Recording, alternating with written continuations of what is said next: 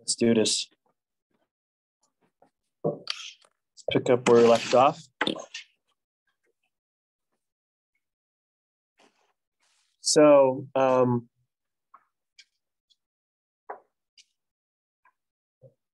last time we were talking about tumor suppressor genes, right? And so we're getting ready to talk about oncogenes, whatever those are. Um, so let me just kind of sort of back up a little bit and sort of explain a little bit about what tumor suppressor genes are, because this is actually a pretty um, important component to sort of lay some of the groundwork uh, kind of going forward. It actually does sort of underpin how cancers actually behave um, and how they come to be in some cases and uh, and kind of what drives them, right? So last time we talked a little bit about we were talking about cancer is essentially pretty simple in its conception. All cancer is is basically uncontrolled cell growth, right? So cells that are basically sort of flying off the rails, they're not going rogue. They're not listening to control. They're not listening to instructions, and they are basically doing their own thing. Um, and remember, we have two mantras in cell division. Number one, do it right or die. Right. Number two is do what you're told or die. Right. So notice the die thing in there. There's a lot of death, right? Because ultimately, um, the consequences of not doing it right or not doing what you're told essentially leads to death anyway, right? Um, so a good example is cancer cells right? Cells with un- uncontrolled cell growth, they're not doing what they're told. And so as a result, either they die as a cell or you die as an organism. So which one do you think is actually better? Yeah. yeah, you can live without a few cells. You can always replace them. But if you die, you're screwed. That's a fail when it comes to the biological purpose of life. Okay. So not only did you not reproduce, but you actually didn't live. Um, so that's a bad thing. so what, and this kind of bears because a lot of times uh, even uh, students will kind of not get this on the first pass. But what I want to do is I want to basically sketch out a little bit about the organization of a gene, and this will actually come in handy a little bit later on when we talk about transcription translation as well. So basically what we start off with is a gene. Typically in this case, because we're talking about cell division, it's a cell division gene. And in a, as a good soldier, right, the cell division gene will essentially be turned off. Um, and it'll be in its off state because it's not dividing. So basically, if you are not dividing, then you should be in your off state. And that's kind of where we are here. now, in the box, this is basically your coding region. And this will become protein. Now, along with the coding region, you also have um, kind of a little start site with what's called a promoter. And the promoter is a region that drives the gene function, the gene activity, the gene expression, if you will. Now, just upstream of this is a region that is essentially the regulatory region. So none of this becomes protein. This is all just basically controlling um, what, how you turn the gene on and off, right? So this is the control mechanisms. There's a lot of different controllers in here. Some of them are environmental, what we call response elements that will respond to environmental signals and cues. Um, but one of the common ones that you see, especially in the cell division gene, is a particular piece of DNA that will bind to a special protein called the tumor suppressor. And a tumor suppressor does exactly what it says. It suppresses the development of a tumor. So in this case, what actually tumor suppressor does is it actually inhibits, that's kind of the plaque. Basically, it inhibits. Okay, are we singing? Who is that? Let's check to see who that is. Oh, no, she mic'd herself off before I could get there.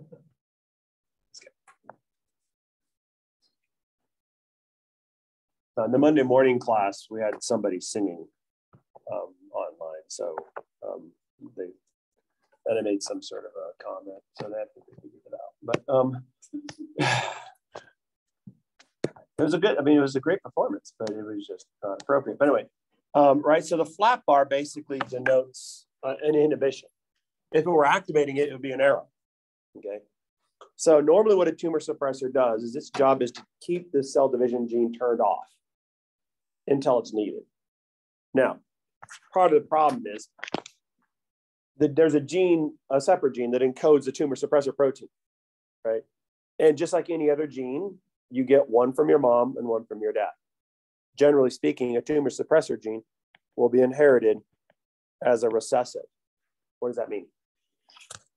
That means you need two copies of it, right, to get any kind of an abnormal mutation phenotype.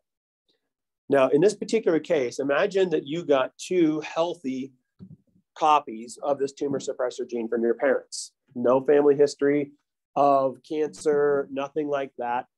And so, generally speaking, what happens when you're just alive is you're constantly bathed in radiation. It's just a part of being alive, right? You have a certain amount of radiation that's always hitting you and bombarding you, it's damaging your DNA, you're fixing it, and you just go right back out there and you keep skiing and you get sunburned again and it keeps damaging your DNA and you keep fixing it, right? And so basically this is just life.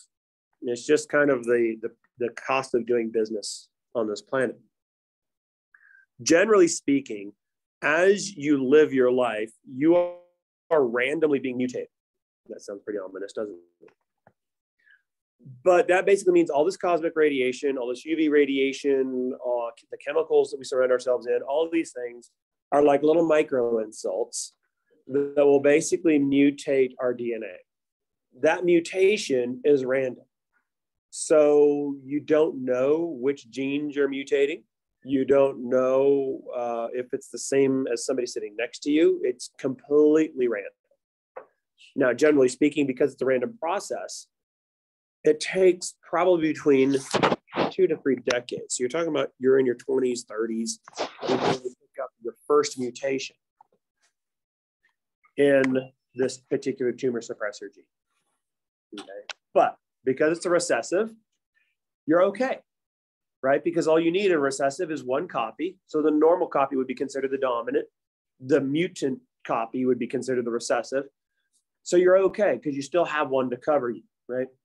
Well, another two, three, maybe even four if you're lucky, decades later, you pick up the second one.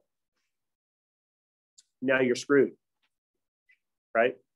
Because now what happens is if you pick up that second mutation, you essentially lose your tumor suppressor. You also lose your off signal, which means now, now your cell division gene that you had controlled and turned off is now free to turn on.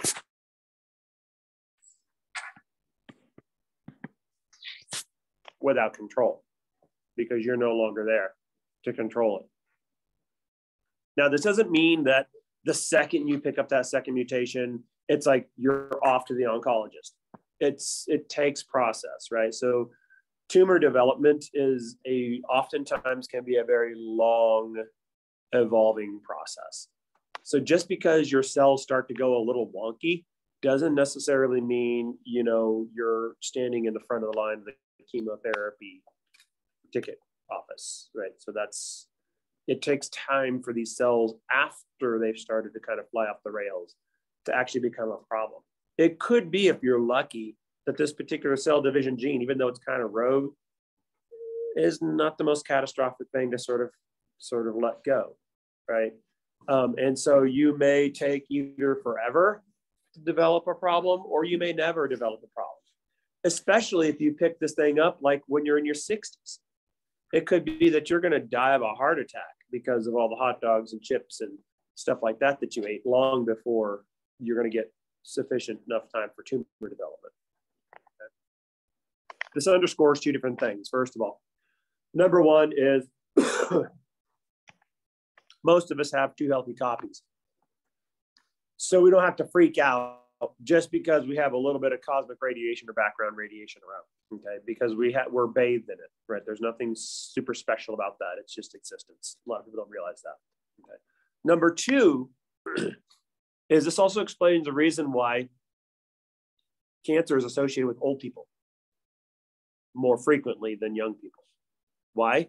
Because most of the cancers that you're picking up are going through this exact same process. It takes some time to pick up the first hit, and it takes some time to pick up the second hit. In some cases, you may never pick up that second hit. You may get really lucky, and you may never pick that second hit up. If you're extraordinarily unlucky, you may pick up both hits within a few decades, right? It's all random. You don't know if you're going to be a lucky one or an unlucky one. Okay, so that's kind of where this uh, where this gets to. So the other one, the proto-oncogene, I want to basically sort of sketch this one up because I'm going to basically write the same system. So you basically have your cell division coding region. Your start site, you've got your promoter, and then you've got your regulatory region, you got your big old tumor suppressor sitting there, turning it off. And an oncogene, it's a little bit different because an oncogene, the nature of the mutation that occurs isn't in your regulator like it was before in the tumor suppressor. It's actually in the gene itself. So there's some sort of a mutation that occurs in the gene itself. And what this does is it basically throws this thing into a stuck on state. Regardless of your control. Now, because this is sort of in a stuck on state and you have no way of controlling it, this usually comes across as a dominant negative. I mean, specifically speaking, I don't know that we've ever actually found a dominant positive, to be quite honest with you. Uh, usually, if you have a dominant mutation like this, which is a disease allele, it's almost never good, right? It's always bad news. Um, but it's dominant because it pretty well takes over essentially. So it doesn't really matter whether or not you have tumor suppressor or not, because now what's happening is you're essentially running the show. You're not listening anymore. Uh, I like to think of these two mechanisms as um, defining sort of the regulation and the circumvention of regulation in a room full of toddlers. So imagine you got a room full of toddlers. And of course, nobody has a room full of toddlers unless there's some adult supervision in that room. Right. But imagine you have this one really bad toddler, and this toddler wants to kill their sibling. That's pretty bad, right? That's usually frowned on, right? So, what's keeping this toddler from killing their sibling? The adult in the room, right? So here's the toddler. Like, you know, I want to kill my sibling. This is this is non-negotiable. The sibling's going to be dead by the end of the day. Um, so how do I do this? Right. First of all, I can't do it because I've got Mr. Bossman over here telling me I can't do it for some reason. Right. Even though my sibling just took my toy and they have to die for this. Right. That's the extreme world of, of the toddler. luckily they don't have enough mental wherewithal to figure out how to kill the sibling so it just ends up being a slap or a punch or something like that. That's how that comes across. Right so basically in this case if you've got an authority figure in the room telling you no you can't kill your sibling and that's a problem then what do you do? Well there's two pathways you can do to get to get to the killing killing your sibling. Number one is you can first of all remove the authority figure it's like, oh, fine, fine. You want to tell me no? Then guess what? I'm going to kill you first. So if I take you down, Mr. Hotshot, then there's not going to be anybody in the room telling me what I can and can't do. Is there now? So what do you do? You go over there and you slap the uh, the caretaker because well that's just the, that's all you've got when you're a toddler. I mean, half of your skeleton is still cartilage anyway. So I mean, what what can you actually do? Um, I mean, there's really not much you can do. So for you, that's killing, right? I just killed you. You're dead. Stop telling me no, right? Right. So that's one way to do it. Remove the adult from the room, and you're free to do whatever you wish. That's exactly what the tumor suppressors do. As a matter of fact, what we see in a lot of cancers is exactly that. When a cancer cell, which is a rogue toddler, wants to do whatever it wants to do and doesn't want to be told no, one of the things that it oftentimes does is it will identify the adults in the room and eliminate them. you could do it that way. An alternative would be to do it the proto-oncogene way. In this case, as a toddler, you're kind of like a little bit more radioactive here. In this case, it's probably a little bit more accurate to, to what a toddler would actually do, especially a strong-willed one, right? In this case, it's like, you know what? I hear you, but I'm going to kill my sibling anyway. See, I'm killing them in front of you. I can hear you saying no, but I'm not listening. So what happened? You mutated into a dominant negative form where you're doing whatever you want to do, which is stuck on kill, kill, kill, right? Let's say that's. That's a, that's a pretty bad toddler. Um, I'd probably be talking to the parents at that point, right? Be like, you might want to know a few things about this lovely little creature. yeah. Don't turn your back on them. That sort of thing. Well, anybody who has a toddler knows that you never turn your back on them anyway, because um, nothing ever good happens. But right? That's basically their dominant negative. They're sort of stuck in an on state. And what are they doing? They're ignoring instruction. Is instruction there to be heard? Yeah, it is. You can actually hear the person saying, stop, stop hurting your sibling, stop slapping your brother, right? Because again, you know, toddlers don't really have the wherewithal to know how to kill very well. So that they get that later in public school. But anyway, sorry, there's a reason I homeschool my kids. Um, don't, I, I'm not even going to start. I'm not even going to start. Don't even get me started. Right. So that's kind of what it is. And notice all the regulation is still there, isn't it? The tumor suppressors are telling them stop, stop, stop, but they are deaf to instruction. They're stuck on. So they become dominant negative. Right. So those are very dangerous dangerous genes. Um, and they're very ugly genes. So let's take a look at what kind of tumor suppressor do we have. Well, here's a, here's one. Here's one of my favorites. P53. It's a very inglorious name for a very important protein. Um, so P53 is basically just named because of its size. So when they were working on this, they were working on tumor suppressors. Do you have the ability to suppress a tumor? Yes or no? Well, here's one, and it's about 53 kilodaltons. So this is protein P53 that's where it comes from. So it's not a sexy name. That doesn't really, there's nothing juicy about that one. This is actually a G1 checkpoint. It also has activity pretty much all throughout in G2 as well. But basically, what uh, GP53 does, is it monitors the integrity of the DNA. It actually has three really big jobs that it does. One of those is DNA repair. And along with DNA repair, it'll also be an activator. It's uh, a, what's called a transcription factor for other cell division genes.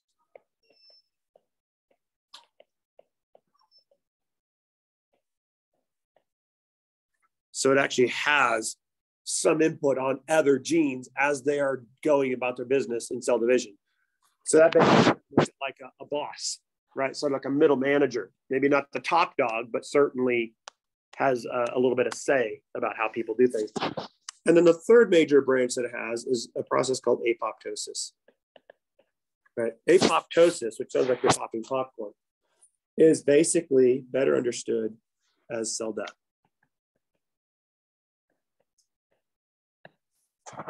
So here's how it works. When you have damaged DNA, remember we said we are going to damage the DNA either because you're making a lot of mistakes in replication or because you've incurred a lot of insult from your environment. Either way, either one will do that. Then what happens is you trigger a DNA repair mechanism to clean up this DNA. That's exactly what P53 is doing.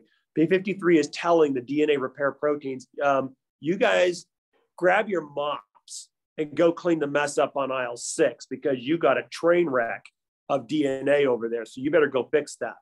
And guess what? We're going to sit right here and we're going to wait while you do that. Notice what he does is it halts, stops cell division. So it's like an arrest, right? Like a checkpoint kind of a thing going on there, right? So it's like, okay, I'm going to wait. And none of that, but guess what? You're on the clock. You got mop in hand. You got your bucket. You're heading toward aisle six. I'm timing you.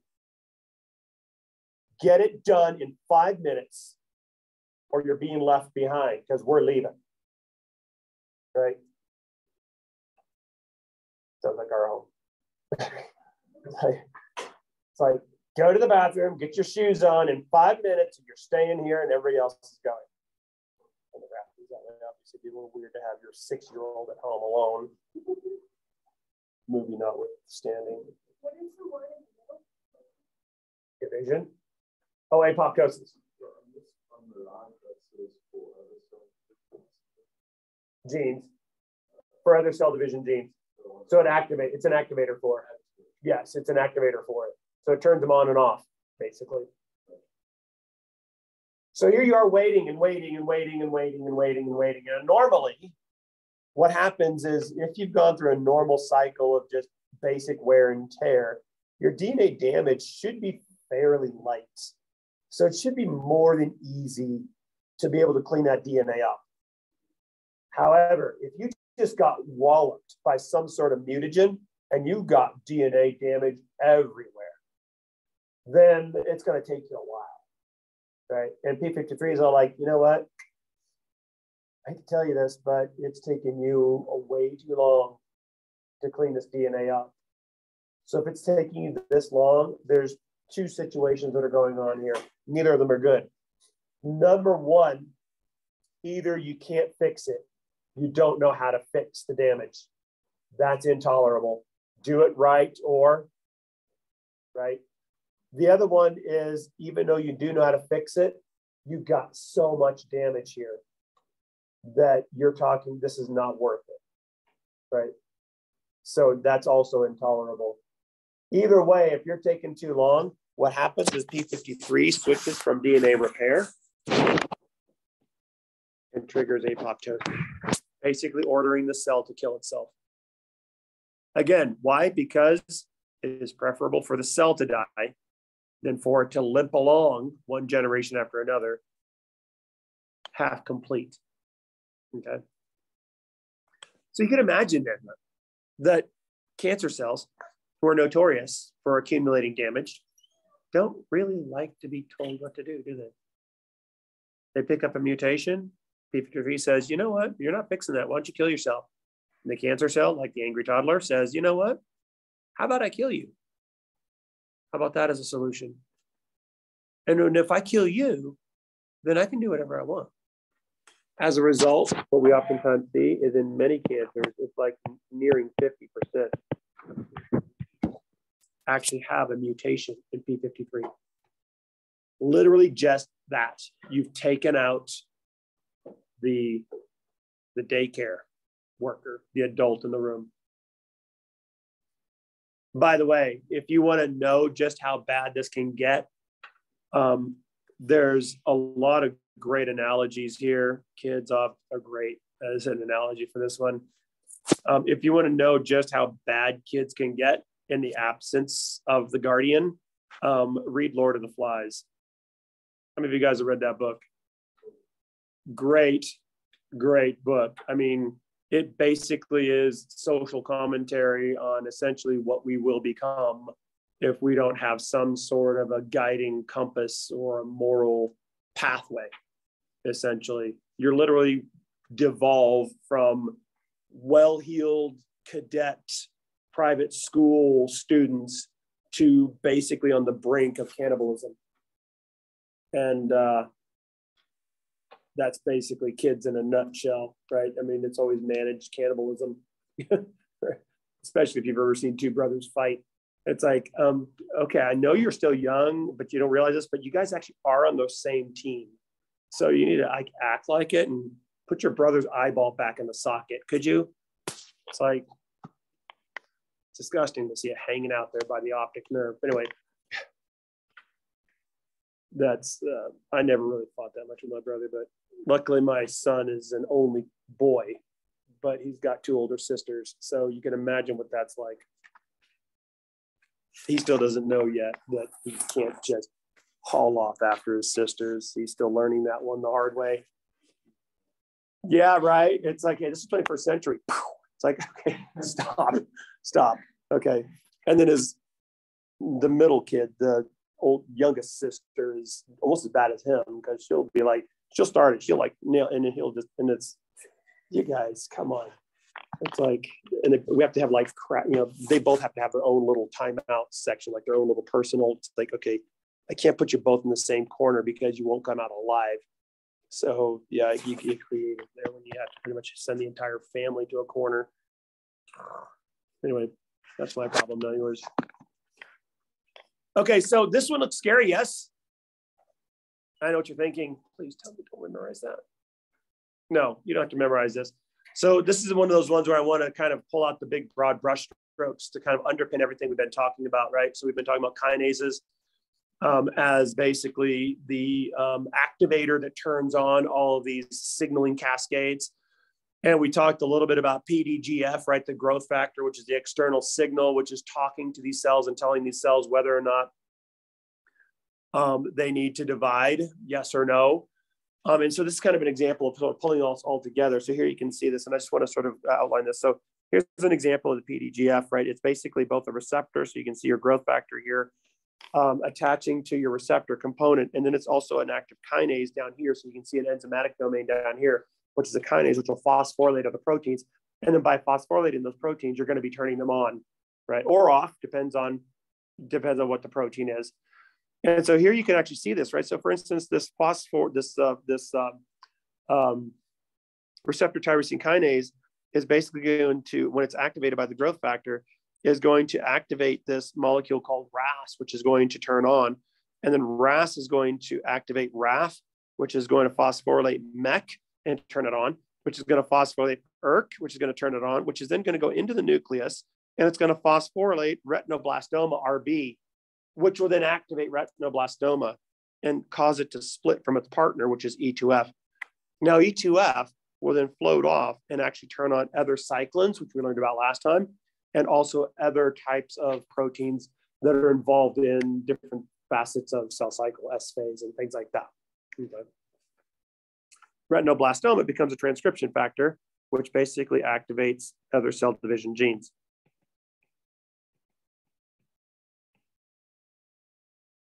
And it is itself a tumor suppressor. So if you didn't catch any of that, first of all, I want to mention that I do apologize because uh, what happened last time, if you tried to log on and were not able to, is uh, we had a double blow up.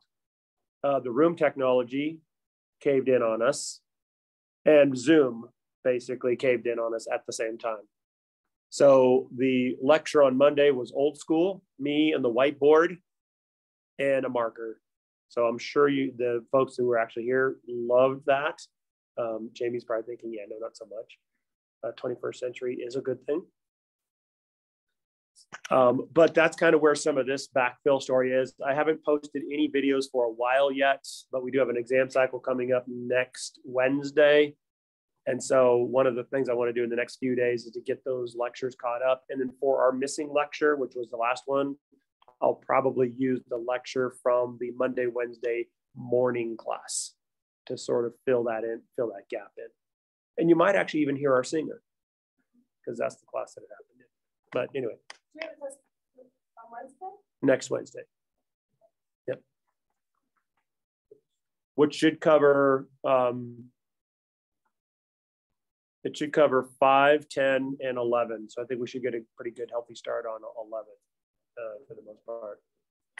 Um, right now, because of that little debacle on Monday, we went from being the section that was ahead to the section that is now in the rear.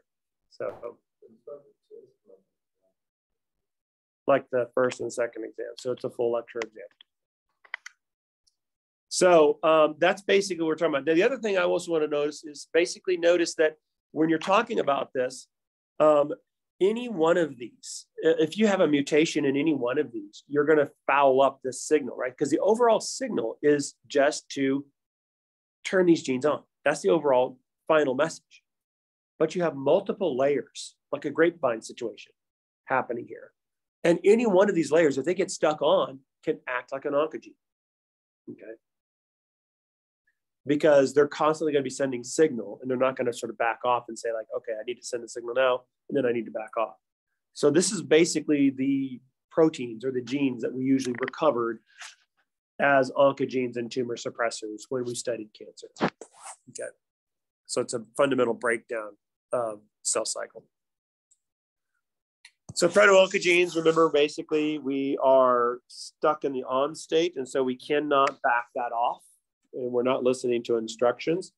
And so we have this unregulated um, cell cycle division, which pretty much means we can do whatever we want. And as a, as a tumor, you can basically accumulate whatever you want because you're just plowing forward. So we already talked about P53 as a tumor suppressor gene. Another tumor suppressor gene that we actually discovered was RB itself. That was actually the first one. We actually discovered that one first before P53.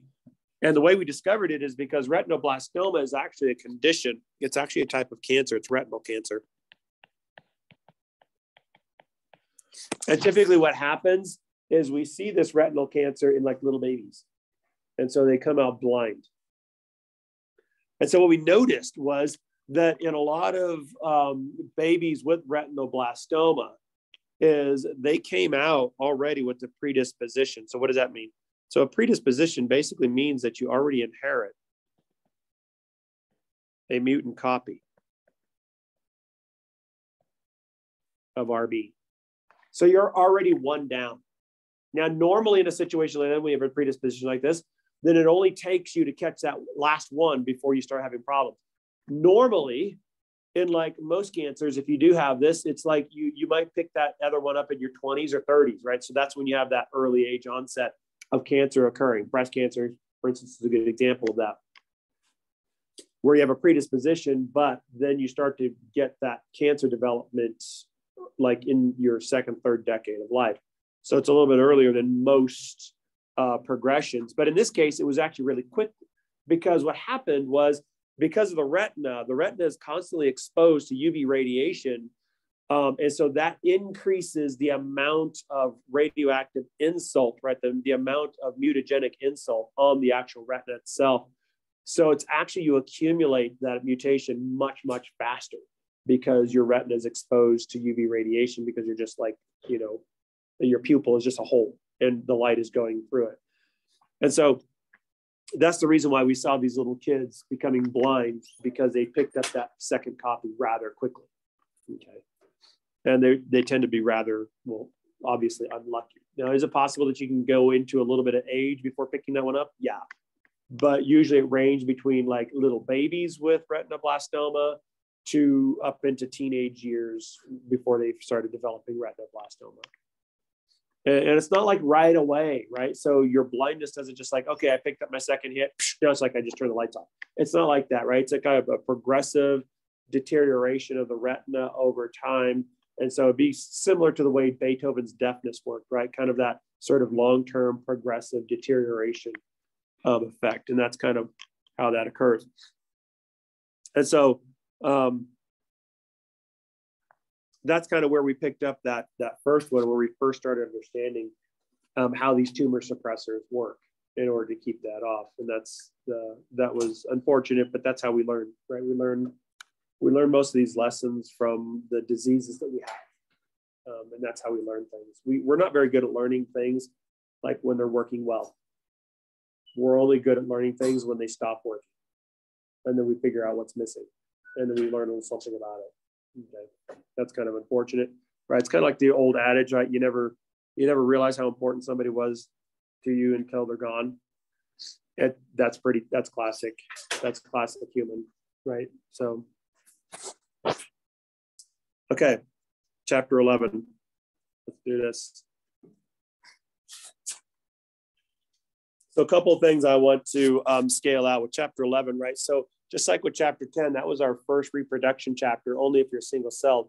If you're multi celled now, um, you're also, uh, this is now your reproduction chapter. So this is for us now. So finally, we get to go to our reproduction chapter. But there's two different ways that you can reproduce. Now, the, the, this, this chapter is sexual reproduction and meiosis. We're going to talk about that a little bit. Now, one of the things that um, I like to use chapter 11 uh, for is to prep um, for chapter 12. Um, so rather than just looking at meiosis as just like a cell division thing, Um, a lot of times they're going to see a lot of common themes that we've already picked up in chapter 10. A lot of times students will be like, wait a minute, why do we have a separate chapter on this one? Because it seems like there's a lot of overlap here and a lot of redundancy. So why we have a separate one?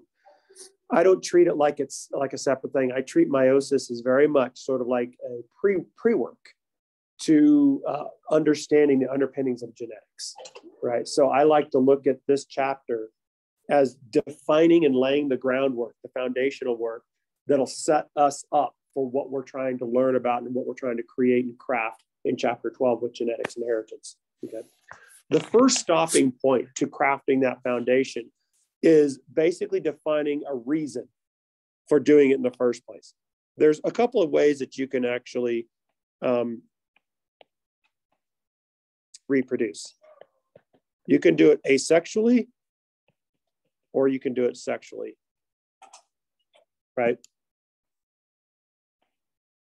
And so what I want to do, and this is going to be a little bit of class participation, is I want to list some pros and cons for each. Now, basically speaking, uh, with asexual reproduction, this is just uh, to, for, you know, to make it short. This is basically just a clonal process. You're essentially making a carbon copy of yourself genetically. Um, and so there's like no variation um, or at all. So you just kind of like just rubber stamp yourself, just make a copy of yourself, and, and there there's two of you in the world, right? Um, and of course, with sexual reproduction, I assume we largely are familiar with the the basic underpinnings of sexual reproduction. We have probably all been uh, to and beyond the whole birds and the bees talk. Um, and some of us have certainly tested out the theory, so to speak, um, on occasion. So we're well acquainted with the nuances of what's involved with sexual reproduction, things of that nature. So when you look at both of them, and you can start anywhere you want, give me either a pro or a con for either asexual or sexual reproduction. It's yours. Uh, for asexual, you don't have to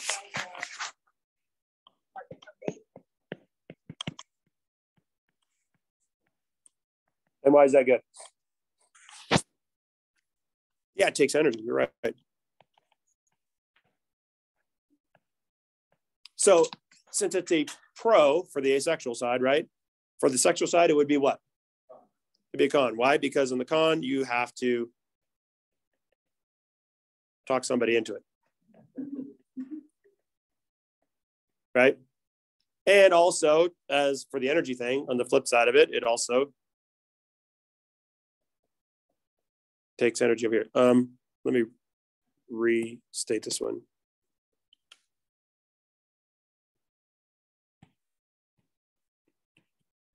Doesn't take energy, right? Or less energy. Any other pros or cons?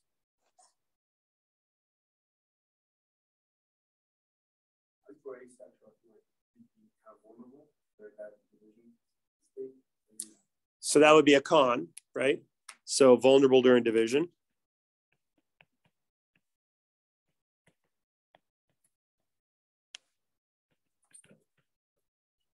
So that would be a pro on the flip side for sexual, right? So you'd be protected.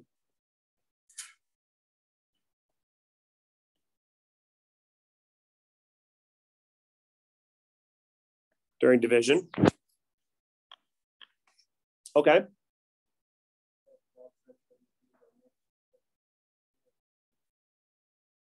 being able to mix genes.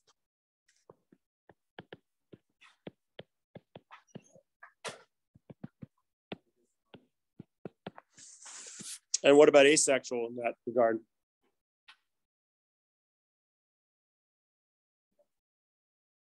So no new genes. So that'd be a con, right?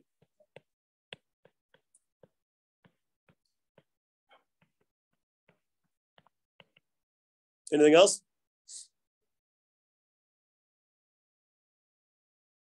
It's a good list. So looking at this, it seems like it should be a bit of a draw, yes? Like if you didn't know anything about the world, wouldn't you guess that I'm thinking there's probably maybe half of the biological organisms are asexual, maybe half of them are sexual.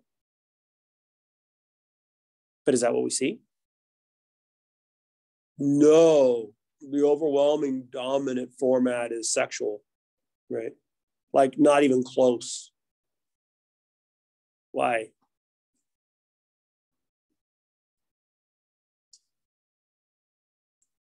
I mean, first of all, doesn't it seem like for you minimalists, doesn't it seem like asexual is powerfully efficient? Isn't it like attractive? It's like, this is very attractive to me. This is like you cut to the chase, you get to the bottom line, right? Just make a copy of myself and we're good to go. Boom. So if it's so brutally efficient, then how come it's not dominant? What are we missing? What? Yeah, which goes along with the gene mixing idea, right? And the no new genes idea on the asexual side. So think about it this way. I always like to think of, and, and uh, by the way, I mean, you can see this, right? I mean, obviously, I mean, it's it's not a small thing where you don't need somebody versus you need somebody. I mean, that's a huge drawdown on sexual reproduction, right? The fact that you need to talk somebody into doing this is a massive negative, right? Think about it. How easy it is it to talk somebody into this? Yeah, yeah, yeah. We're not talking about just like, you know, half drunk one night stand. I don't even remember your name, much less your face kind of a thing. That's not what we're talking about here right? We're talking about reproduction, right? Exactly. Humans, I would argue, take even longer, right? How easy is Is it easy? No, you know how it's, you know how you know that? You've got entire industries wrapped around us, don't you? Things like Match.com and eHarmony and and throw in whatever you want, right? I mean, most clubs are basically just hookup joints, right? Uh, you know, that's so there's a lot that goes into that, right? The entire culture of being single and trying to find somebody. And like you said, it's not just finding somebody. Most of us can probably end up drawing a short straw and end up with somebody, right? But that's not what it's about, is it? because you're not just trying to end up with somebody you're trying to actually trying to figure out whether or not this somebody is somebody that you want to actually add to the next generation with right? There's a there's a lot going on there. So this by the way wraps and not only that but for animals and for us it's it's just kind of cute and funny right? Because we got all these hookup sites and things like that and this entire culture of of dating and, and, and mating and greeting and all that sort of stuff. But for animals, they have the same thing. It's mate selection, right? We've all heard of natural selection. That's survival of the fittest, right? The predator basically picking you out and chewing on you because you're bright and fluorescent pink. That one's easy to wrap your head around. But a lot of times, what people don't realize is that mate selection also has a very powerful effect, especially on evolution or the passage of traits on from one generation to the next. Right. And mate selection is enormous, right? This is the reason why, like, if you take a look at the peacock, you know, the dude with the brightest, prettiest feathers is the one that gets all the girls. Not because he's choosing them, but because he's being chosen. Right and that's oftentimes i love the way you, you mentioned birds is because birds are famously sexually dimorphic which means that they've got a very colorful gender and a very not so much uh, colorful gender right? And who's the colorful one? It's the males. Why? Not because they're sexist. I mean they're birds for crying out loud. I mean there's no such thing as sexism in an animal for crying out loud. They're animals right? I actually heard that once. I'm like are you kidding me? Seriously. An animal isn't sexist. They're an animal for crying out loud. Um, they're just doing what their instinct tells them to do. But anyway, right? The reason why the male is colorful is why? Is because he's trying to win the girl. He's trying to get bigger, more colorful, you know, more you know, impressive. He's trying to get the bigger rack of antlers. He's trying to get the bigger muscles. Does this sound familiar? All you have to do is go into a locker room somewhere and you see this on full display, right? Go to a gym when all the when all the the, the studs are are busy drooling over themselves in the mirror. You can see this on full display. You know what I'm talking about, right? You know what I'm talking about. And honestly, the females are doing the same thing, right? Just a different set of feathers and that sort of thing. That's pure instinct. That's pure mate selection. That's pure animal. That's all that is. Okay. What are we doing? What we're doing is we're trying to basically attract the mate. And there's a lot that goes into that. Think about it. The reason why I say that is not because of these psychosocial stuff, right? Like all the websites and things like that. That's just human. What I, what I want you to understand is how much biology is going into this, right? So you actually have an entire life that exists as a colorful bird for the purpose of selecting mate, getting the mating down. So this is just an example of how much energy it goes into sexual reproduction. So that's a big deal. That's a huge, huge drag. So think about all that energy that goes into that. All of that. Uh, by the way, let's add another negative to that one. If you are bright and colorful, who do you think the predator is going to go after first? Yeah, right. It's you know it's kind of uh, that's it's kind of the way I think of gym rats, right? I mean, if you've got like like massive muscles, who do you think the aliens are going to carve up for Thanksgiving dinner first? Not as scrawny types, right? I mean, we're all bone and connective tissue, right? We'll be turned into rawhides for their dogs. just saying. Okay, it's devolving now, right? So I just basically have us we're all getting eaten by cannibalistic aliens. That's a new low for me, by the way. Just like I'm just saying, um, or high. Actually, I've been lower, but anyway, um, right. So I mean, that's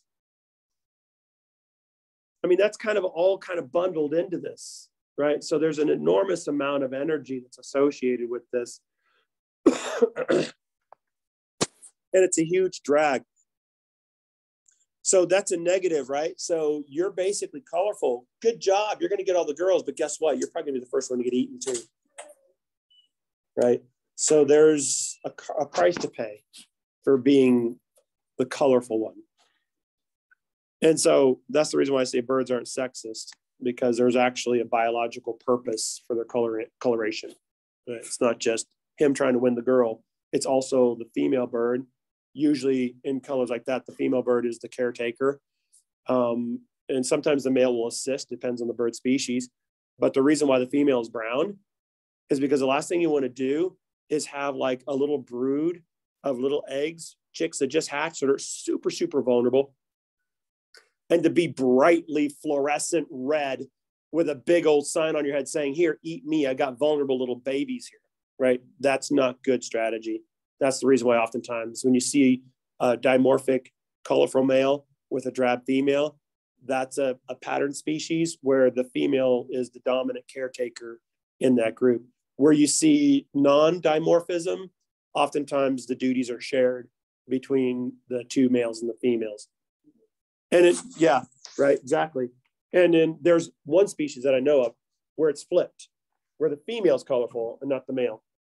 Uh, the belted kingfisher is an example of that. So she has a little bit more color on her than the male does. The belted kingfisher. Is that a bird? Yeah, oh. yeah, it's a waterfowl. They're around here. You can actually hear them. They kind of had a kind of sound like that. You can hear them flying around, and they like to fly around like creeks and rivers and things like that. I can hear them. They kind of got like a little Bart Simpson hairdo like a little stout, and then they got like a little V right there on their neck. One is blue, and then the female has a little red one underneath that, like a reddish colored one, where the male just has the blue one.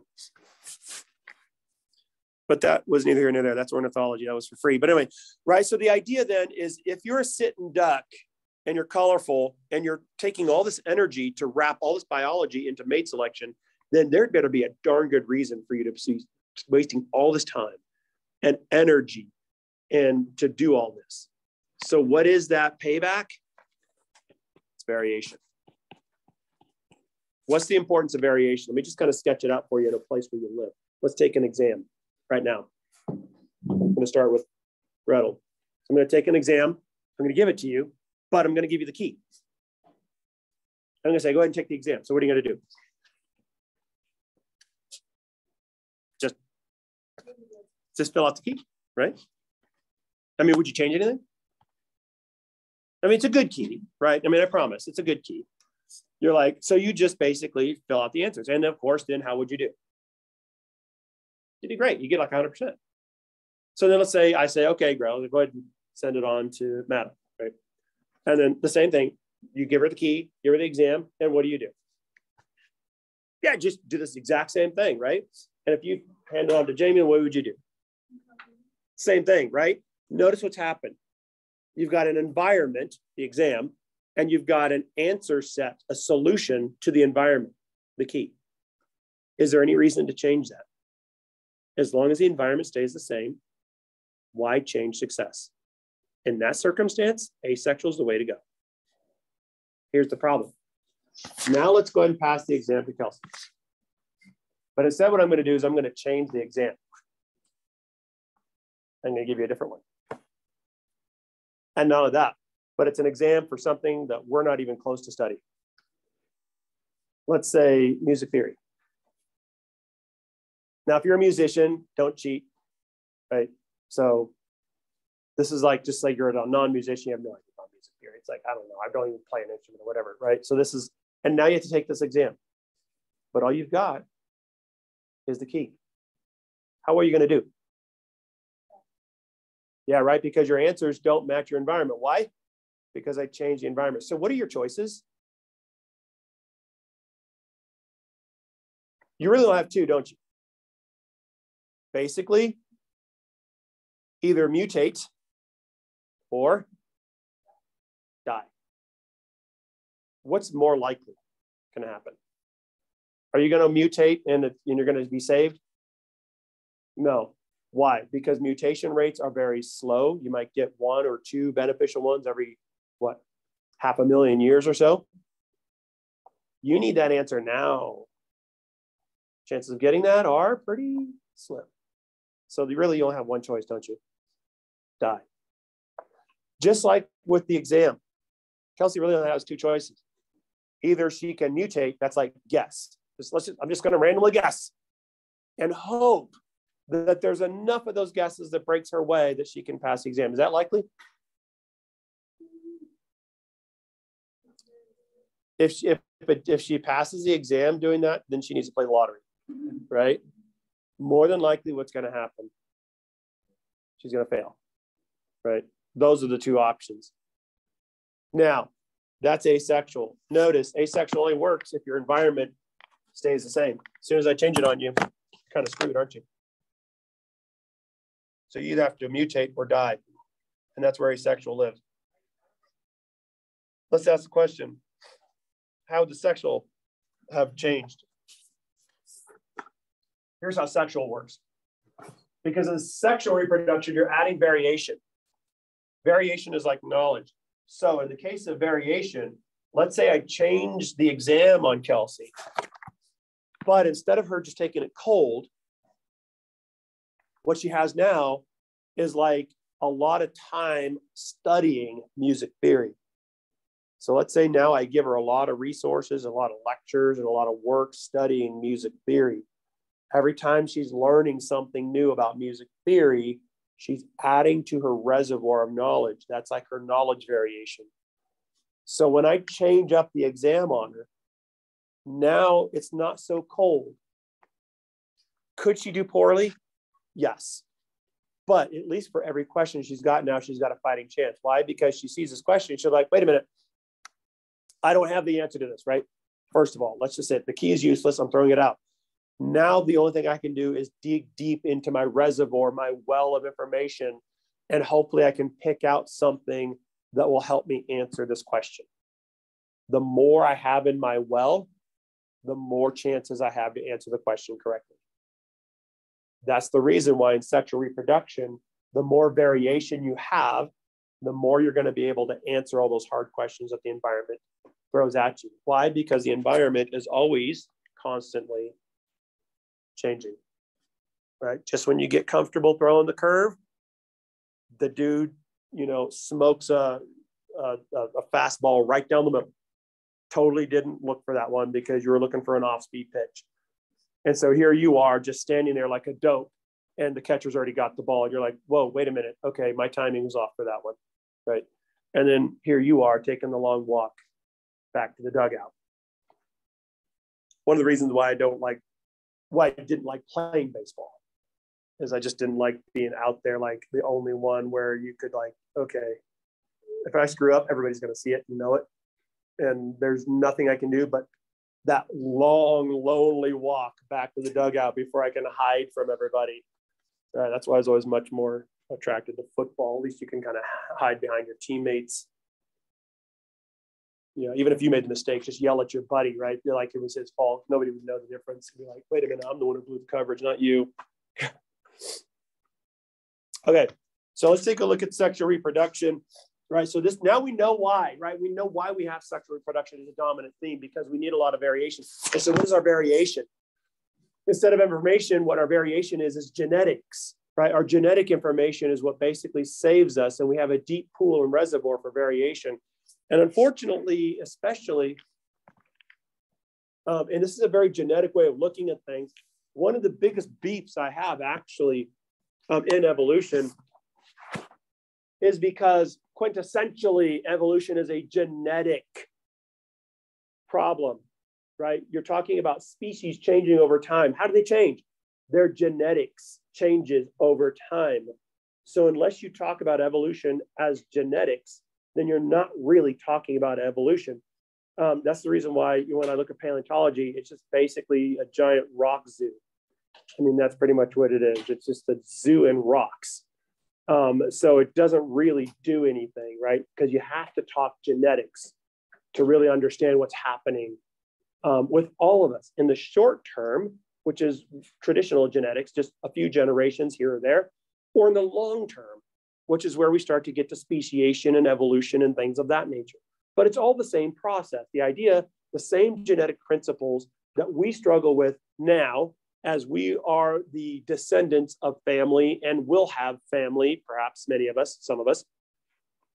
It's the same mechanism that got us here in the first place from millennia, eons ago, right? So the common denominator to all of that, fossils notwithstanding, is throughout all of it is genetics. So to understand how it all works is really requires you to understand genetics and sexual reproduction is part of that story. So let's take a look then. Um, most of us, animals that is, are sexually reproducing. There's not many of us that are asexual, right? Because we need that deep well of, of variation. And oftentimes in evolution, we tend to talk way, way too much about mutation and not enough about variation. Um, now, of course, I know, I know, I know you're probably thinking, well, where did the variation come from in the first place? Well, of course, that was you know, that's. But oftentimes in evolution, you usually talk in terms of near term, like maybe from the evolution of the family level of taxonomy down. Okay. So let's take a look at sexual life cycles. So sexual life cycles basically are an oscillation between the diploid state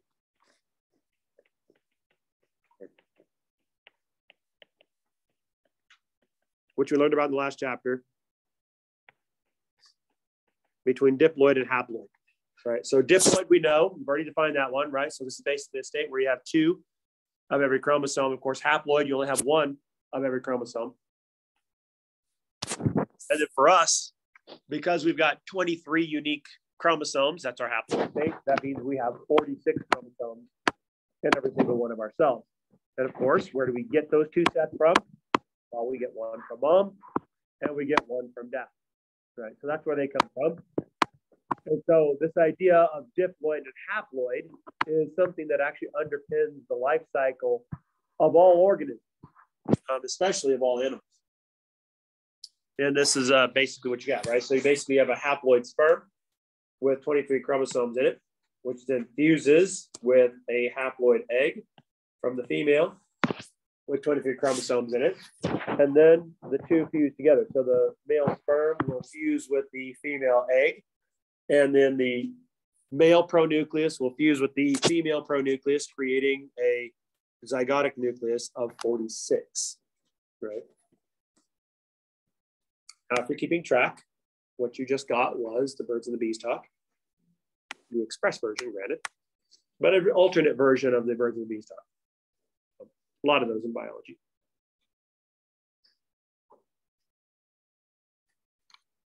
Okay, so let's take a look then at our life cycle.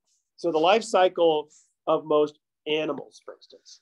So most of our reality is basically spent in the diploid state. So that basically means that we have a diploid body. So if you look in the mirror, what you're looking at is a diploid structure. Every single one of your body cells, red blood cells notwithstanding, because they don't have a nucleus for different reasons that you'll learn about in AMP2 if you get there.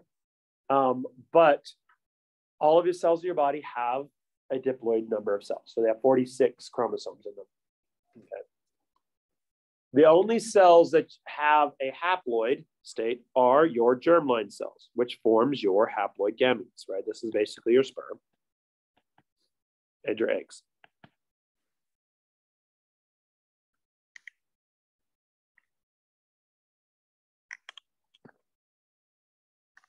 So our cycle is dominated by the diploid. And the amount of time we spend in the haploid state is very, very brief, right? We can see that on this particular image. So you can see here, we start off with the zygote, where the zygote, which is a diploid, will go through mitosis to create your diploid body, right? You're still diploid here. And then a subset of your, your cells will be set aside as germline cells, which will, when you mature, will become the progenitors of your gametes. For instance, in the females, the um, oocytes will come from the ovaries. They will go through meiosis and they'll produce the haploid egg. In the males and the testes, they'll go through meiosis to produce the haploid sperm. When the sperm and the egg unite, then 23 plus 23 equals 46, and you get the zygote of the next generation. However, how long does the haploid state last? It's very short. Think about this for a second. A female will ovulate an egg every roughly ish every month or so. Right. Generally speaking, as soon as she goes through the menstrual cycle and she sloughs off her uterine lining, then off goes the egg as well. And then you reset the system to call up the next egg for development. So at best, you're talking about roughly a 30 ish or so day cycle where you have this sort of recurring cycle of follicular development, ovulation of the egg itself, where the egg then sits and waits to be fertilized. Well, either it is or it isn't, right? So if there is no mating event, then there is no sperm around to uh, fertilize the egg. Um, the uterine lining, which during that time has thickened up and become very vascular in anticipation of implantation of a newly fertilized embryo, will realize, wait a minute, there's no embryo coming, and therefore will detach and slough off along with the egg, and then you reset the system for the next month. Males, when you're talking about sperm turnover, roughly will produce a batch of sperm in about every 24-ish or so hours, at least a complete turnover of sperm. Not only that, but sperm outside of the body is uh, doesn't last for very long, right? Because there's no there's no nucleus associated with the sperm. There's nothing to keep it alive, right? Literally, it's just kind of like a little wind-up toy that's basically what the, so it's got like a bunch of mitochondria in it that are kind of like just allow the, the energy that's in the windup. And then basically just kind of goes. And then once it winds down, each of those mitochondria will die off. And then eventually it'll stop swimming and then it'll degrade. Okay.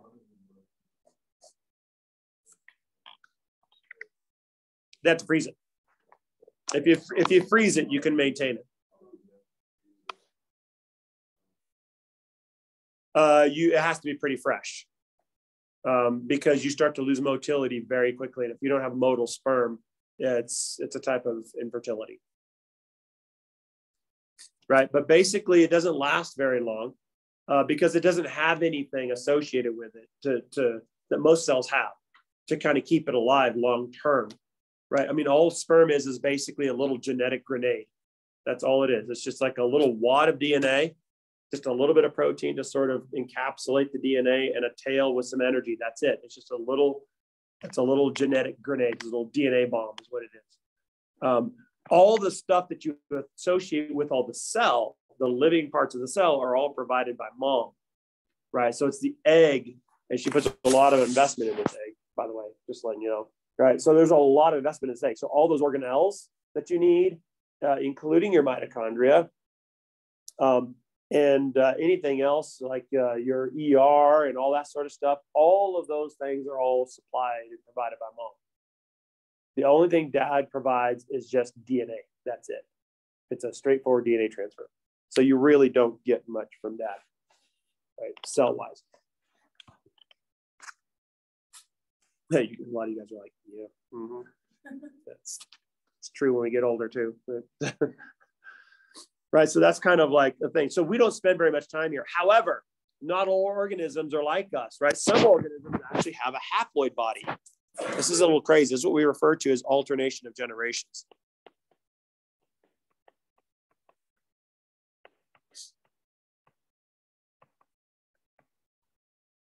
So what does that mean?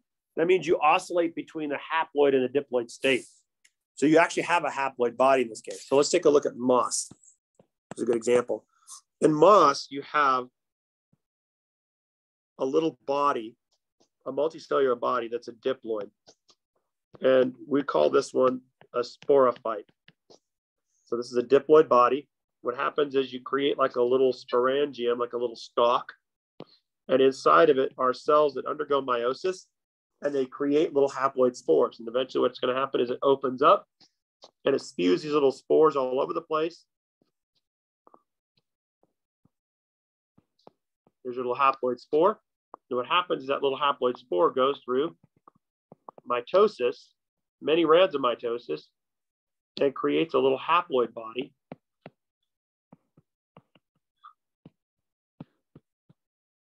called a gametophyte.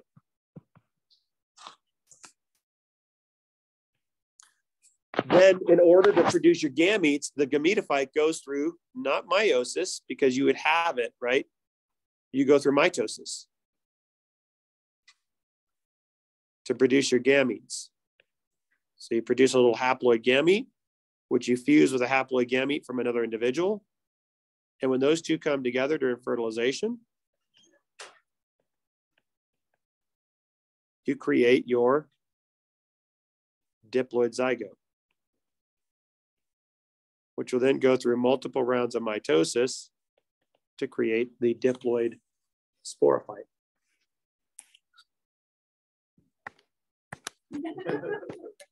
you like that one? So that's because you're so yeah. You, that means you're not a botanist, right? So botany people would be like, "Oh, this is so cool." Um, so this is uh, this is what mosses do, right? And so if you think about it, it's a little on the crazy side, isn't it? We don't do any of this, but basically notice that their cycle is the same. They basically have roughly the same cycle. They got an alternation between the diploid state and the haploid state. And they produce gametes that are haploid, and they go through mitosis to create their bodies, just like we do. So let's, and, and, and, there's a reason why you do this. There's a little bit of an advantage here. We kind of approach it a little bit differently, but let's kind of imagine what would happen is if we had this alternation of of body types, right? So like if you take a look at a moss out there, you could either be looking at a sporophyte, which is the diploid body, or you could be looking at the gametophyte, which would be a haploid body, the producer of the gametes. Let's take a look and see what would, would look like in us if we did this same strategy. Here's how it would look. So let's go ahead and start off as a zygote, right? We go through mitosis, all that's the same. We create our diploid body, that would be like the sporophyte right? We have a subset of cells that go through meiosis. That's all still the same. We produce the haploid cells, which are our gametes, but in this case now these are spores. So what would that look like for us? So instead of fusing our two gametes together quickly to get the fertilization, if we did this, what happened is our sperm and our eggs would actually go through mitosis. And then they'd go through multiple rounds of mitosis. And so they would create their own body. So what would happen is every male would have like these little half clones of people that grew up from their sperm. Weird, right? But they would have half of your DNA, a different combination of that half of your DNA, right? But you would have it potentially, I mean, if you think about just how many hundreds of millions of sperm the average male produces, you could have hundreds of millions of little half clones running around out there. Females would have hundreds of millions of half clones of them running around there because their eggs would go through mitosis. And then what would happen is those half clones would then go through mitosis to create their gametes. So a subset of them would be like, okay, I'm going to send these two cells through mitosis and they're going to create the two cells. Their cells are going to become the gametes. And so we're going to fuse these together. That's going to become the zygote, and then that becomes the next generation to create the diploid body. It would look really weird, right? Because if we started off with us here, our first generation, then that means our kids wouldn't actually be kids. They would be half clones. So we wouldn't have actually technically reproduced yet we wouldn't have reproduced until our half clones grew up, made gametes, and infused with each other. And then the grandkids, so to speak, would actually be the culmination of the reproduction. Imagine what chaos that would create. I mean, we would have like all these different classes of humans, we'd have half clones all over the place. We'd probably have laws governing how we treat the half clones. Half clones are people too right? Um, you know, I mean, we'd have all these bumper stickers. It would be a cause. There would be a thing, right? It would be like star belly sneetches and plain belly sneetches, right? So I'm not a half clone. I'm a full thing. You know, it's like I mean, you can almost hear it happening, right? It's like I'm better than you because I've got all the DNA. You're just a half clone. Uh, I mean, you could almost hear how we would work this out, right? It doesn't. None of it usually goes well because that's just not the way we are, right? But that's kind of what it'd be like now, why would we do that? What's the advantage of doing that? I mean, why would you make an alternate body that's happening? That seems seem weird, right? Well, here's the reason why. Think about it. We've done this actually. We've already heard this actually. Some of us have maybe made this comment or thought. Maybe this is our strategy. Some of us are like, you know, I want to have kids, but not right now. I want to go through school. I want to finish school first. I want to, I want to get my career off the ground. I want to, I want to make a little bit of money first right? I want to I want to make a bit of a life of it first. And then maybe when I'm 30-ish or something like that, I'll I'll think about having kids, right? But I want to get my career first. That's exactly what these guys are doing. So what they're doing is they're saying, you know what, the circumstances that I'm in right now is not ideal for me to have kids in. I want a chance to work on my circumstances to improve my lot in life so that I have something to give to these kids once we actually get to that place, right? And so these guys are doing the same thing. So in this case, what's happening is like, you know what? The way I'm going to improve my lot in life is instead of basically having kids right now, what I'm going to do is I'm going to have half clones. And I'm going to spread these half clone spores all over the place. And some of these spores will land in really, really great areas, really nice areas, right? That have a really nice environment perfect conditions. And they are going to be the ones who then finish off the reproduction. So that's kind of the strategy. Only here, what we do is we say, well, you know what? I'm going to go find that new environment first. And once I find it, then I'm going to have kids and bring the kids into this world. Right. Notice we can do that. Why? Because we got legs. If we don't like it over here, we can get up and we can walk over here And we can be like, you know what, the grass is actually a little greener over here, like in my neighbor's yard, for instance. Right. So it's not always true that the grass isn't always greener on the other side. If it's my lawn, it always is greener on the other side because I've got like six dogs and there's no such thing as grass at all when you've got six dogs. Right. So in this case, you can't get up and walk if you're a moss. So the best thing you have is to disperse your spores throughout other environments. Hope you snag a good one. And then let them finish out the reproductive process in better climate. Okay.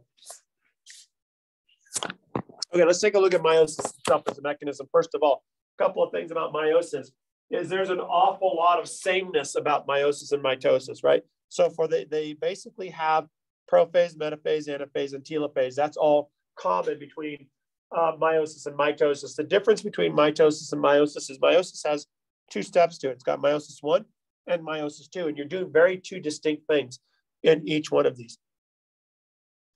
I'll come back to synapsis and talk about synapsis a little bit later. in meiosis one, the first thing you're going to be doing in meiosis one, which is called the reductional division, is so called because the goal of meiosis one is to separate homologs. So you're separating mom one from dad one, mom two from dad two, mom three from dad three. And that's the reason why it's called the reductional division. Because ultimately, you start off with two copies of each chromosome, but when you separate the homologs from each other, you get two piles of haploid cells.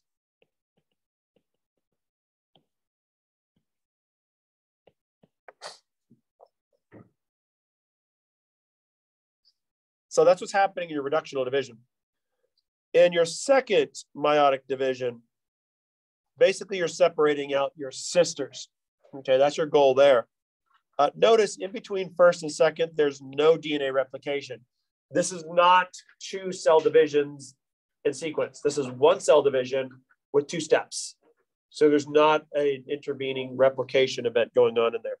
So if you take a look at meiosis two, this is what's referred to as the equational division.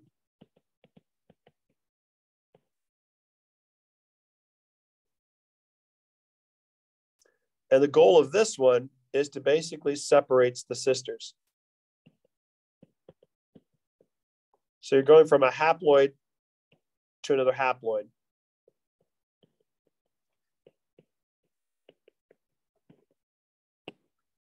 And notice in each set, you've got basically the same phases, right? You've got a prophase one, metaphase one, anaphase one, telophase one. And then you move into my, meiosis two. You got a prophase two, metaphase two, anaphase two, telophase two. Notice the absence of something. What's missing? Yeah. Remember, this is the reason why I said that it's either a four or five phase system. It depends on what you're looking at. So the meiosis people are only looking at chromosomal dynamics and chromosomal segregation. They're not looking at microtubules. So they tend not to think about prometaphase, just about pro, meta, and ana and uh, telo, right? Just those four. So a couple of things that, that you see, I'm going to come back to this one.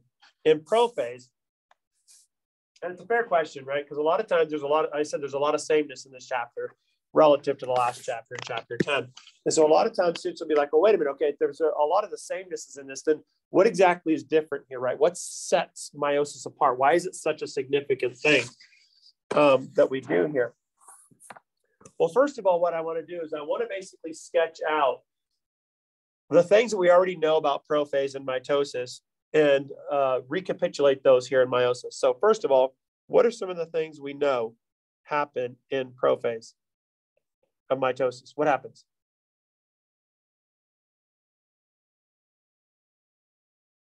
Nuclear envelope still there. So the nuclear envelope in prophase will break down, right? But you're right, nuclear envelope.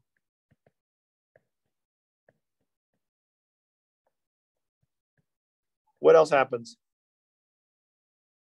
I'm thinking about mitosis.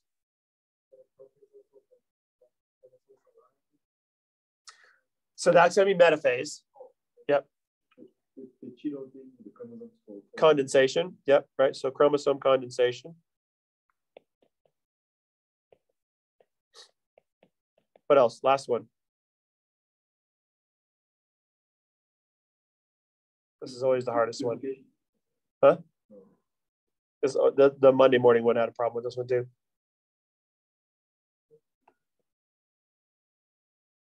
Spindle migration. Right, this is where your spindle migrates into its antipolar position, gets itself ready, your spindle forms, all those microtubules start to form their little bird cage-like structure. That's all mitosis. Is it all the same in meiosis one? Yes. Great. Have we learned anything new? No. You haven't told me anything new yet. So why am I impressed? Well, let's take a look at the innovations of meiosis. The next four are going to be what meiosis only does. The first one is homologous pairing.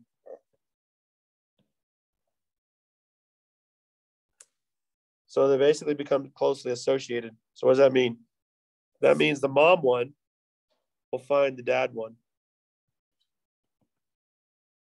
and pair up. That didn't happen in mitosis. After you find each other, then you go through what's called synapsis. So synapsis is basically the gluing together of the homologs. So in this case, you form a big protein structure in the middle, gluing these two guys together. This is called the synaptonemal complex.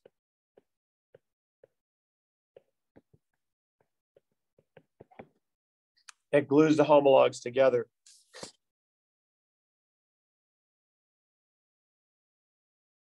And then once you glue these guys together, then you get what's called crossing over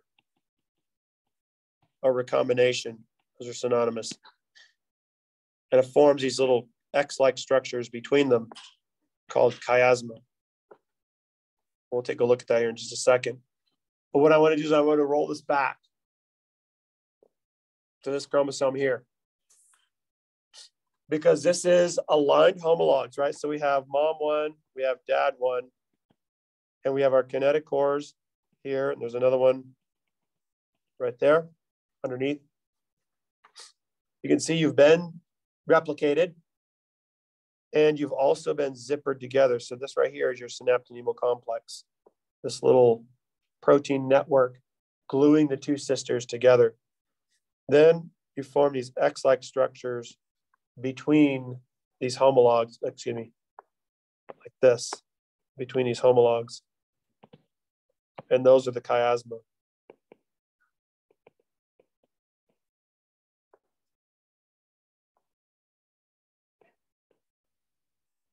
These are physical crossover structures.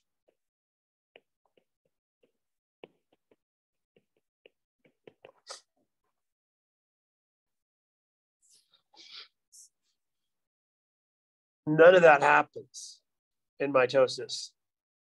So why is that a big deal? Well, it is a big deal because what I want to do is I want to insert the notorious slide. And what I want to do is there's three main engines of variation. And in order to set up the genetics chapter to understand how you sort through an inherent variation, we want to talk about how you get variation in the first place. There's three main engines of variations in meiosis. The first one that we're going to talk about here is recombination or crossing over. So basically what we're going to do is we're going to take two chromosomes. We take a mom one and a dad one.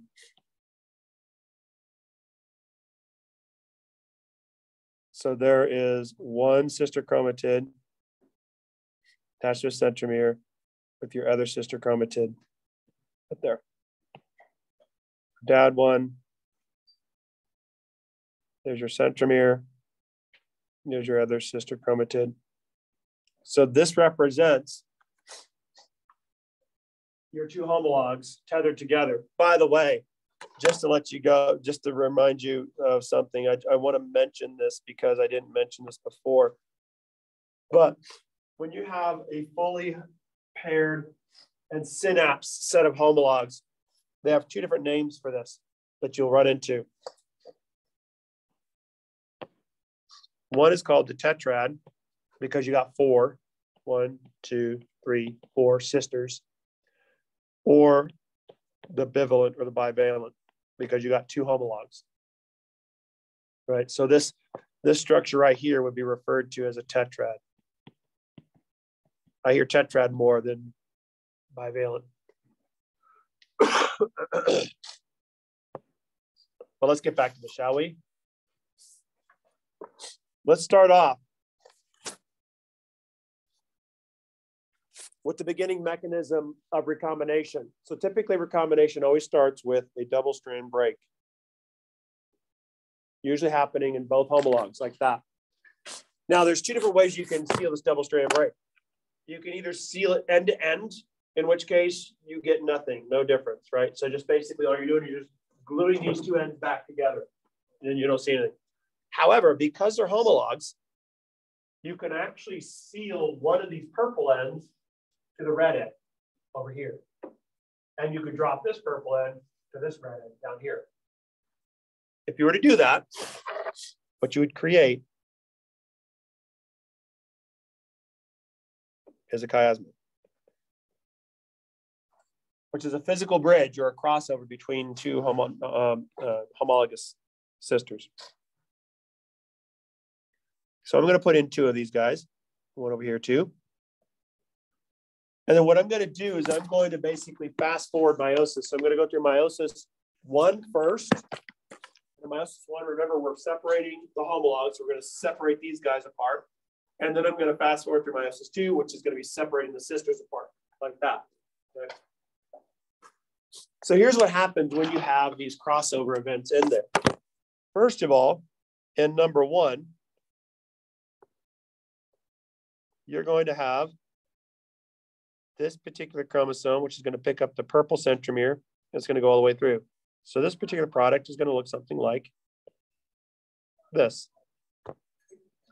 Now then, if I take a look at number two,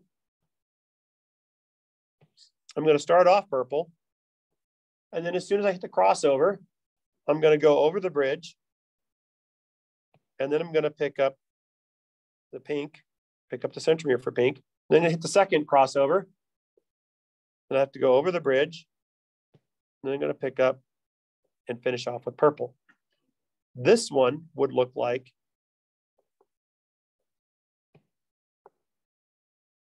this. Now for number three,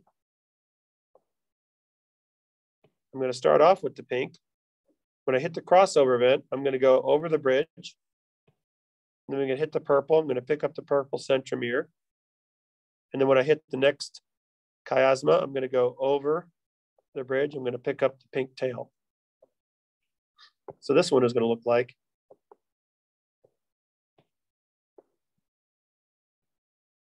that. And then last but not least, number four is going to be all pink.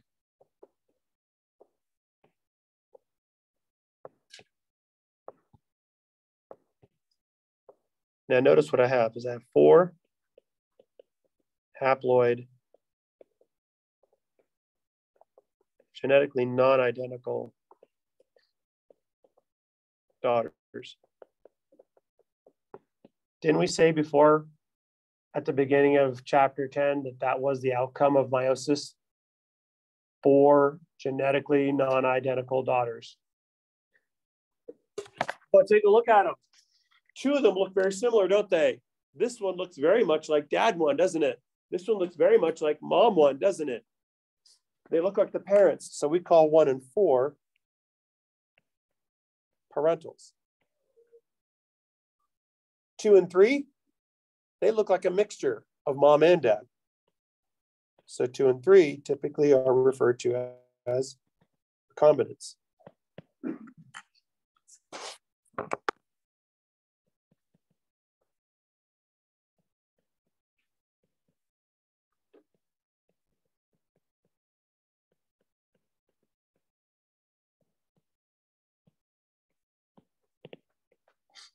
This is our first major genetic variation engine.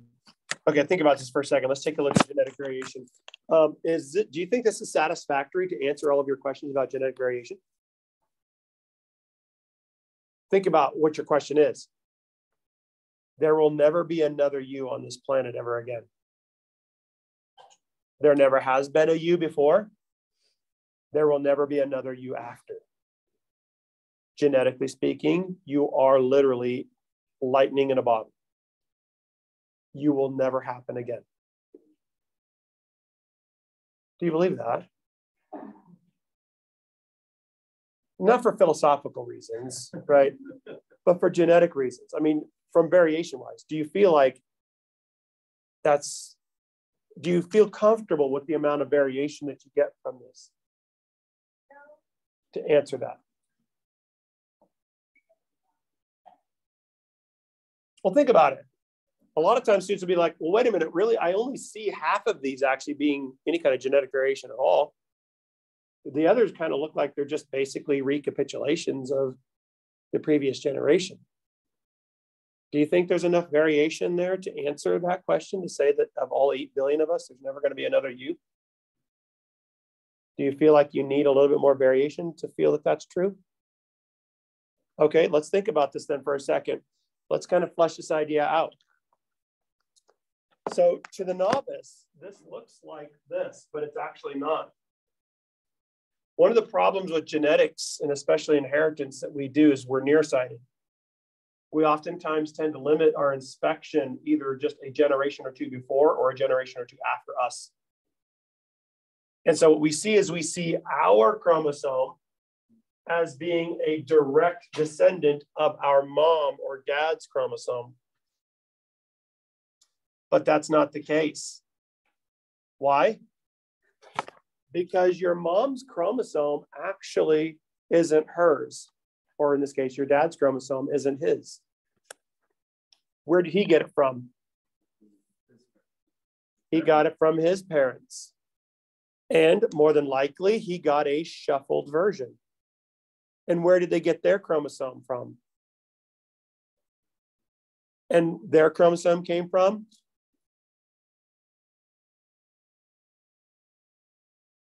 right? So really, when you're taking a look at any chromosome here, you're talking about a shuffled, shuffled, shuffled, shuffled, shuffled chromosome. Whether it's been shuffled in the near generation or not, it's been shuffled in successive generations before you, and likely will be shuffled by you after you. Think of it like this it's like taking a puzzle. So, really, in, in, our DNA, our chromosomes that we have aren't like, oh, I got my mom's chromosome. It's not that simple, right? Because we have, if you're into family history, we have nearly, as far as the eye can see, an infinite lineage of DNA that makes us up. And we probably only know it a very small slice of that right? This is the reason why 23andMe is so popular, is because it basically reveals to people just how much of that is in there. A lot of people are surprised about some of the, the ancestry that they have. It's like, well, I had no idea that I had this in me. Yeah, but you do. You know, at this point, it's been shuffled up so much that you may have just a slice of it left in there, but it's there. It's there, right? And so we can see that that's kind of what 23andMe does. But basically, each one of these chromosomes is like a quilt of pieces that have been shuffled and passed on from one generation to the next. We can actually see this effect, by the way, in families that have a very dominant look. Like, uh, for instance, we see it in particularly in like um, fair uh, individuals, right? Like uh, a family that has like fair skin, fair eyes, and then let's say that there's a generation in there where uh, somebody marries into the family and they're very dark, right?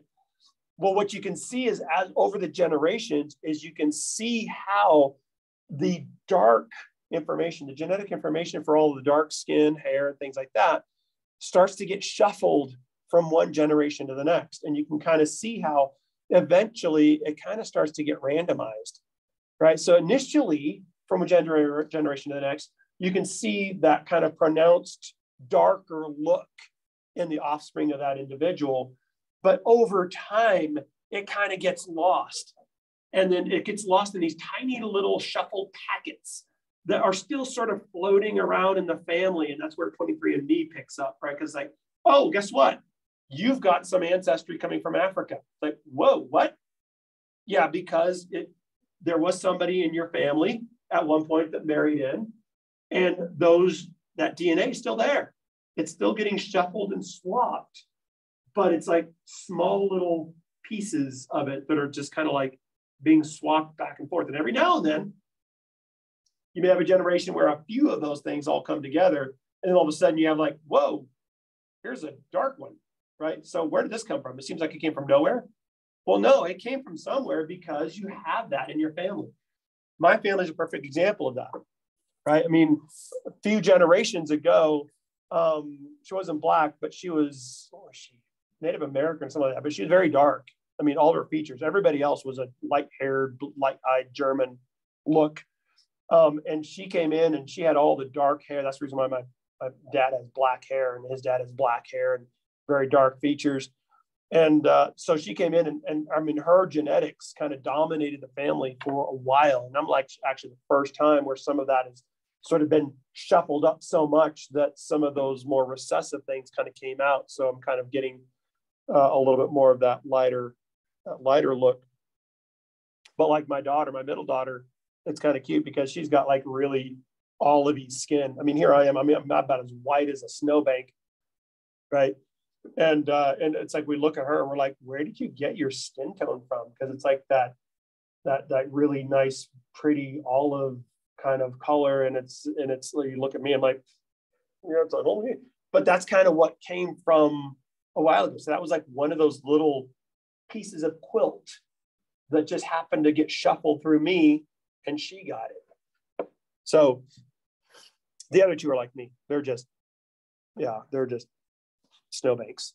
Right? That's that's kind of what they are. They're cute, but they're snowbanks, right? They're, they're cute snowbanks. They're snow bunnies. Um, but that's kind of like an interesting area, right? Because you kind of start to swap this back and forth. And that's what this guy looks like.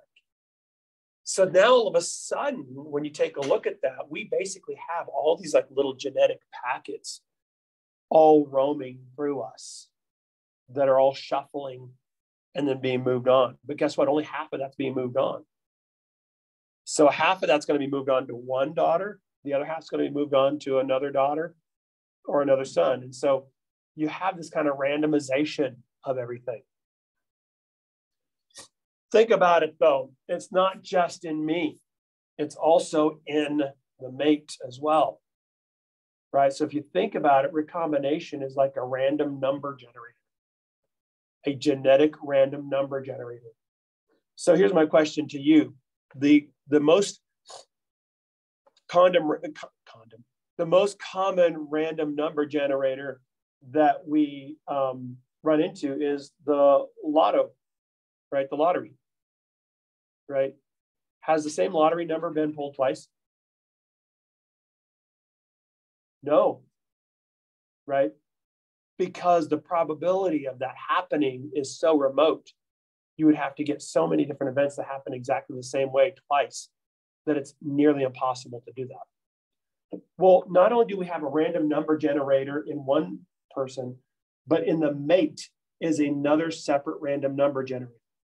So, in order to create somebody exactly like you, you would literally need to have both of your parents both random number generators hit on the exact same winning lottery number, not once, but twice in both parents. right? In both parents. How likely do you think that's going to happen? Are you waiting around for that one? Are you spending money for that one? Let's go Vegas on this one. Are you picking up the odds on that one? You gonna pick up the over and the under on that? No, smart money says you walk away from that one and don't touch it, right? Why? Because it's not going to happen.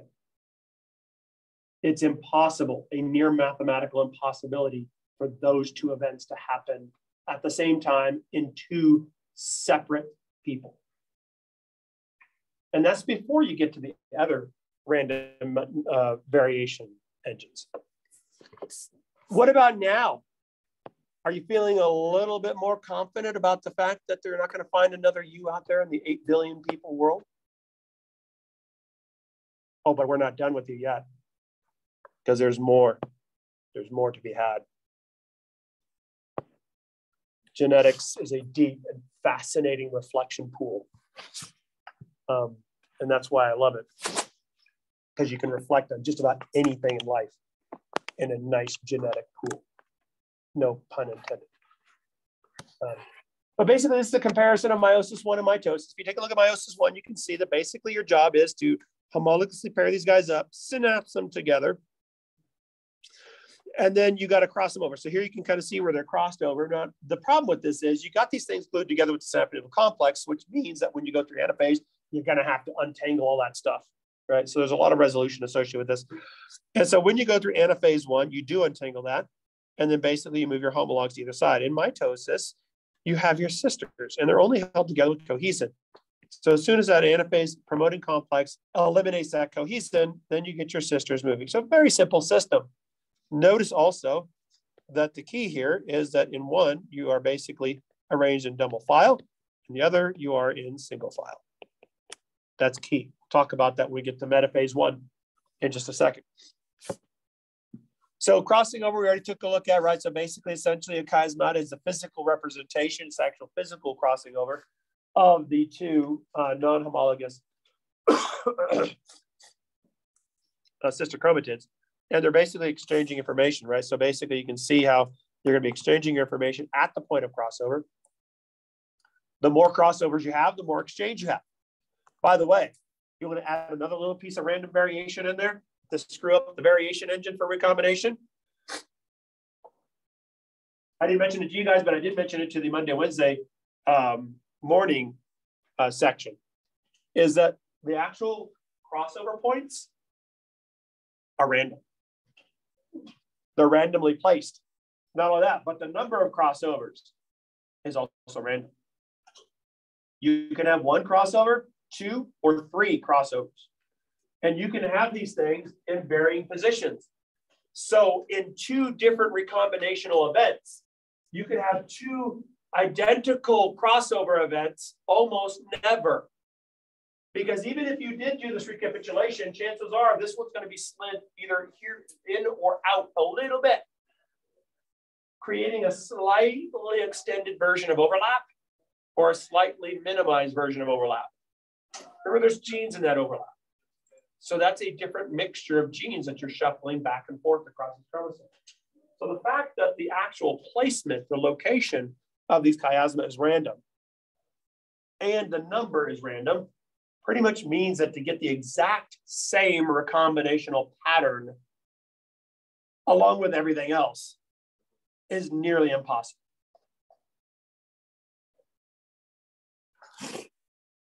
So now you should be feeling good about yourself you literally are lightning in a bottle, genetically speaking, right? And of course, personally speaking. I'll, I'll, I'll buy into that one, right?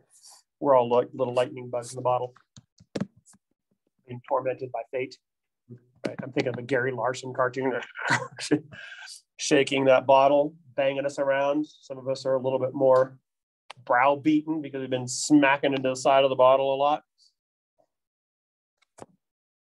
Go to right there, right? Got some bottle smacking headache going on there. So here's your prophase one. So here you can see, obviously, you got your spindle migration, you've got your chromosome decondensation, your uh, nuclear envelope hasn't uh, broken down just yet, but you can see clearly you've got your homologous pairing and your synapses, and you can kind of see how you're starting to swap out genetic material between your two homologs, right? So this is basically your prophase one. Now, what about metaphase one? So in metaphase one, uh, basically what we have is the alignment of sisters side by side. So this is basically double file.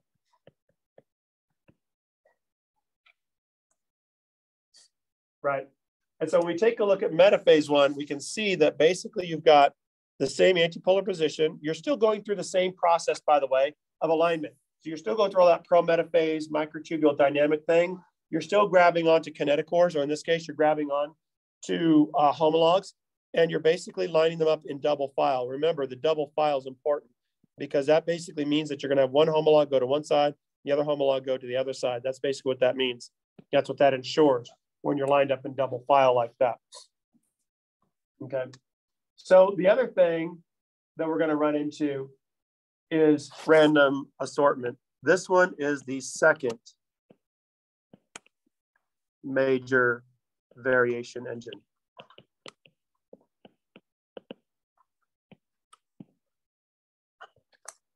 And this is where I'm going to start on Monday. So I have two more to go. Uh, we should probably pretty comfortably be able to finish chapter 11 on Monday. So this is the next big one. So you're already feeling pretty good about recombinations, variation. So now we're just going to add to that variation story.